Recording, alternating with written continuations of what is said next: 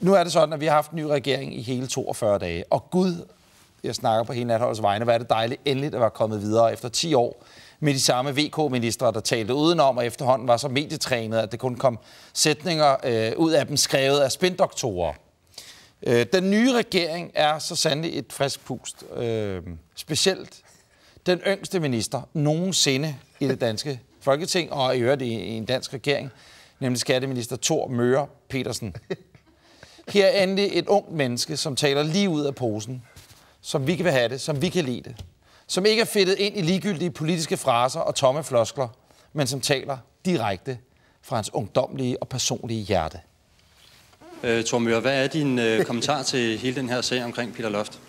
Jamen, øh, jeg har nu bedt øh, om en skriftlig redegørelse, og derfor har jeg bedt om en skriftlig redegørelse. Og det er baggrunden for, at jeg har bedt Peter Loft og øh, direktøren for Skat København om en skriftlig redegørelse.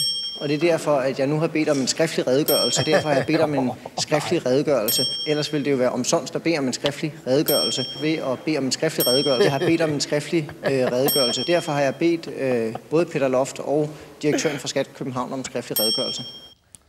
Er det ikke dejligt befriende, Robert? Bare med det unge hold, mand. Det unge kul bliver kørt ind, mand. Åh, det synes jeg er- I er turistbusser, du. Og man ved bare, man, det er bare nyt. Det er befriende. Ja, det er dejligt, det der. Det er- det, det er hvor mange gange? Ni gange Så fucking dejligt befriende, mand. har han husket at bede om en, en, en skriftlig redegørelse. Det fandt jeg ikke lige ud af, ud fra det klip der.